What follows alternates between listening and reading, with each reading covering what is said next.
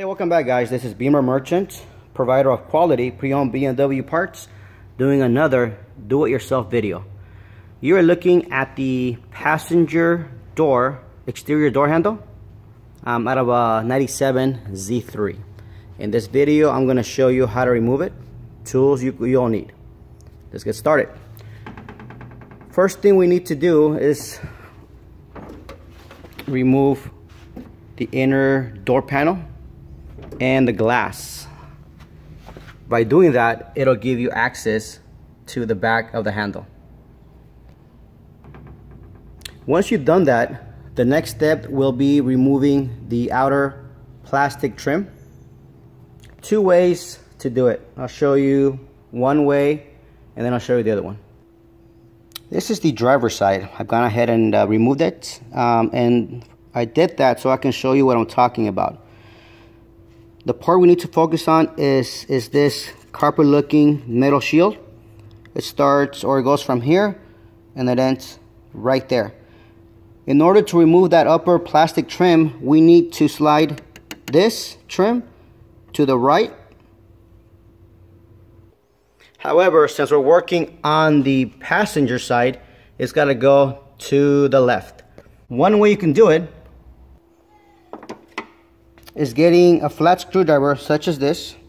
And since this is the driver's side I would go to the right and sliding it this way here. The next option uh, my opinion is a bit easier. If you look at the edge of the door um, there's typically a plastic cover that goes in here. You pull that out. Same screwdriver fits in there properly and you need to push the metal um, shield that way.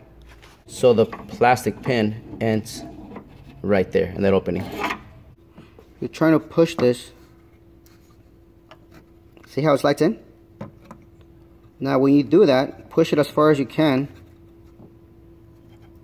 That's as far as it can. What happens is the plastic tip that usually goes here will, will be in the opening the bigger gap here and you'll be able to pop the handle out.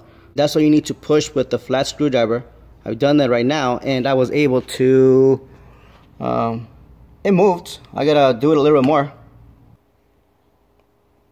All right, perfect. I was able to push this metal plate far enough. See now this tab, you can pull it from the outside. Let's try it. Before we do that, I just want to point, um, see this plastic tab? That's also holding the uh, handle plate on the top. So as you're pulling, make sure you pull up. That way this thing has to go up. Because if you pull straight back, you might break this. Pull up. Now, what I did is, if you can see on the top, there's a little gap. Using this tool, very carefully as not to scratch the paint, I got in here pulled it towards me or pushed it towards me. Hmm. And then as you can see, I can actually just slide out. And using the same tool, pretty straightforward. I'm not able to see it properly. There you go, but you get the idea. So once you do that, you come out here, same tool, see it slides out. Next, when you take this top plastic trim off, you're gonna see a little round circle and you got gaps. One gap right there it's got gaps. What you need to do in that case I actually used the mallet and that uh, flat long screwdriver but hitting this is bad right here by hitting the edges to the left see? Right here. Um, if I had to do it again I would probably add a little bit of a W40 in that so it actually comes out smoother at this point, you're pretty much done. Um, you push it forward. Oops.